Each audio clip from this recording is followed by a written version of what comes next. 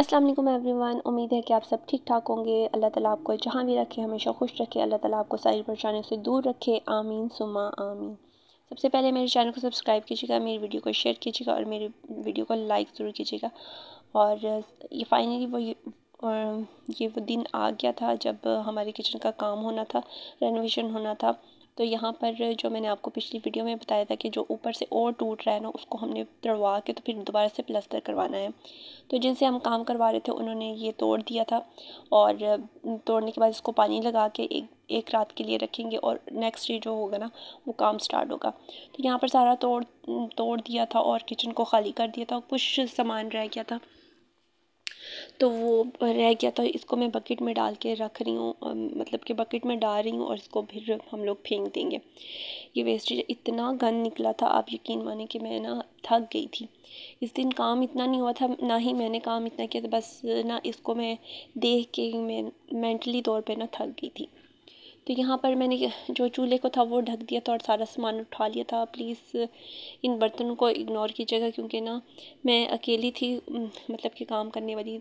तो मैंने जितना मेरे से हो सका मैंने सामान उठा लिया था और बाकी जो था वो लगा ही हुआ था। ये आप देख रहे हैं, ये सारा टूटा हुआ है।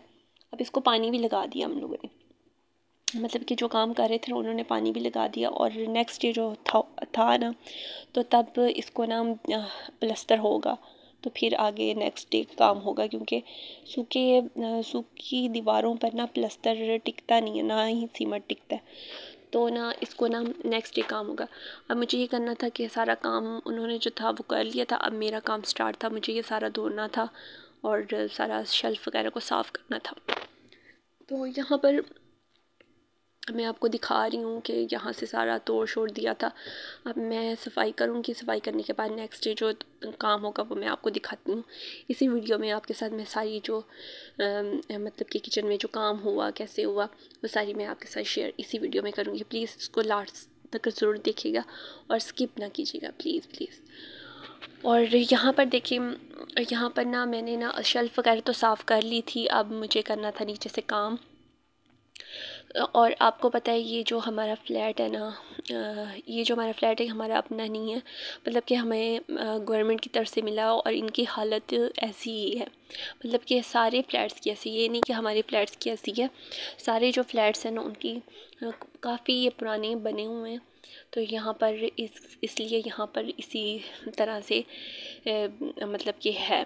अगर आपने मेरी वीडियो देखनी हो तो प्लीज़ होम टूर की वीडियो देखना प्लीज़ मेरे चैनल पर ज़रूर विज़िट कीजिएगा। और मैंने ना अपनी होम टूर की वीडियो भी डाली हुई है। तो यहाँ पर बस अब ये थोड़े से बर्तन थे, वो मैंने इस्तेमाल के लिए रखे हुए थे। तो वहीं पर रहेंगे को सुबह मैं उठा लूँगी। तो बाकी नीचे से सारा मैंने फ़र्श धो लिया था, क्लीन कर लिया था। अब जो था नेक्स्ट डे काम करना था, क्योंकि बच्चों के लिए मुझे खाना वगैरह बनाना था, रोटी वगैरह बनानी थी तो मैंने कर लिया था। नेक्स्ट डे था, ये देखें, ऊपर आप देख रहे हैं कि प्लस्तर वगैरह हो गया है। अब फिर नीचे से गंद पड़ गया है और सारा जो थोड़ा बहुत सा सामान था, वो भी मैंने उठा के रख दिया था। तो यहाँ पर प्लस्तर अच्छे से हो गया है। अच्छे से नहीं, तकरीबन हो ही गया है। और एक जगह से ना प्लस्तर बार बार जो था ना, वो टिक ही नहीं रहा था।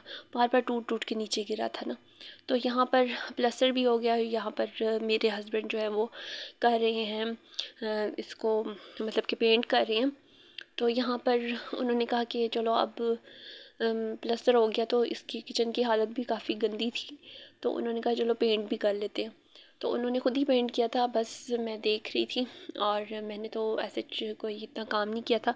मेरा काम इसके बाद जो था, वो स्टार्ट होना था और वो बहुत ही बहुत ही काम था, जिसको मैंने तकरीबन तीन चार दिन में कंप्लीट किया था।